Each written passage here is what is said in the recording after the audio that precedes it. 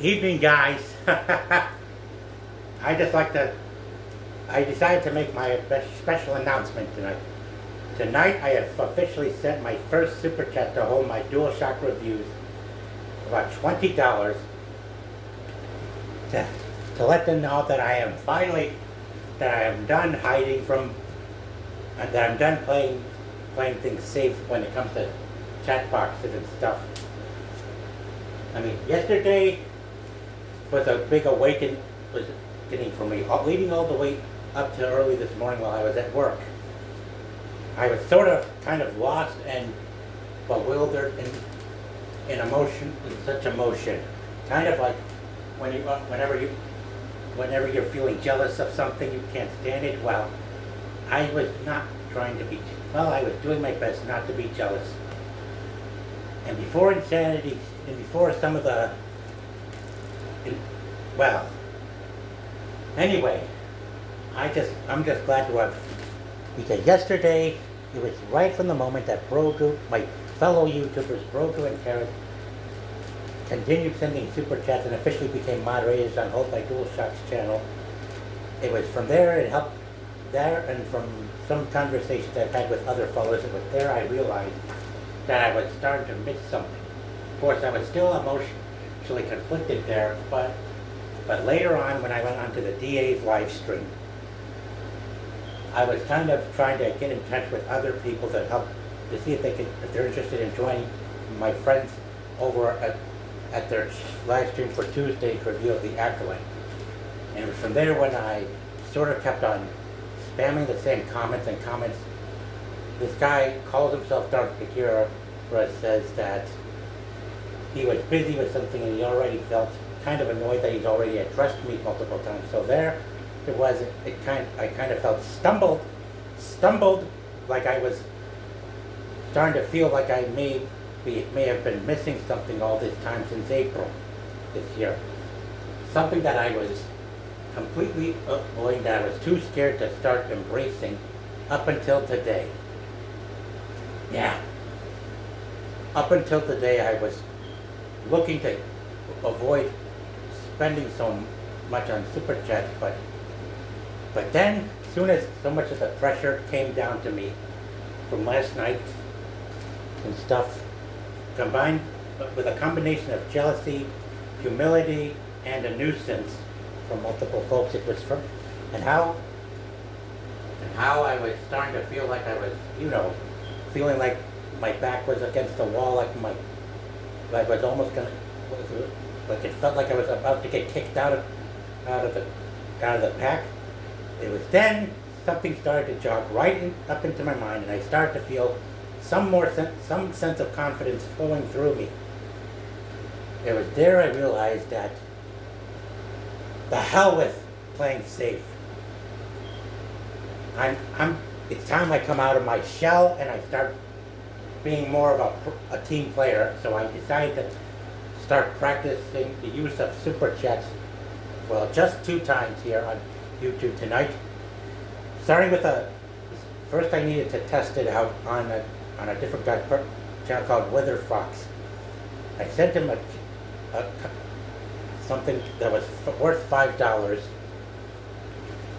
I sent him a super chat that was worth five dollars to see if he would respond, and he did. Clearly, that one was a test the real big thing tonight was sending Katie, Andy, and Peter $20 of a super chat straight to them, and it felt like magic, like my wish was being granted. Kind of like magic, in, up in the air. But before I did that, I had to listen to some song, a song called Shout by Tears for Fears that was sung by this rock, by this band in the 80s to help me brace myself for what I had to say in my super chat tonight to let them know that I was finally that awakened from my fear of playing safe. But of course, that doesn't mean I'm going to keep wasting so much on on the super chats. I still got to save up. Besides, my mom save up. I keep, and to be fair, my parents do keep track of how much I spend with the Discovery card, so I'm going to only use it to, on special occasions and whether I got something important to share with them. And who knows, if I, if time goes by and if I continue to save enough to help pay off this debt on my charge card, I might be able to stop by to the DA's office to, in time to have Uncle T remember to, to start using the, to start creating his own YouTube, YouTube channel and don the moniker Brainiac Writer. And it, and by Brainiac I mean Superman's arch nemesis from outer space. Yeah, because we've already got a Zod writer who's part of the Restore the Snyderverse movement today, right now. And it's time we had a, a YouTuber who not only not only going by the name Brainiac writer, but someone who really wants to see a live action Superman versus Brainiac movie start happening, just like I do. But I'm not going to abandon my channel name, Avengers Writing. That's it's become too popular for me to give up now. So, hopefully in, in time before, sometime before Uncle T starts setting up his own channel, which he says he's gonna do after Deadpool and Wolverine, I am definitely gonna need to send up at least five dollars worth of a super chat to the DA at some point when Uncle T shows up.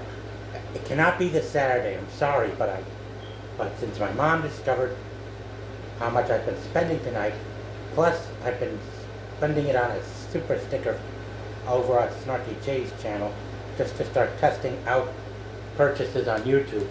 I need to start playing safe.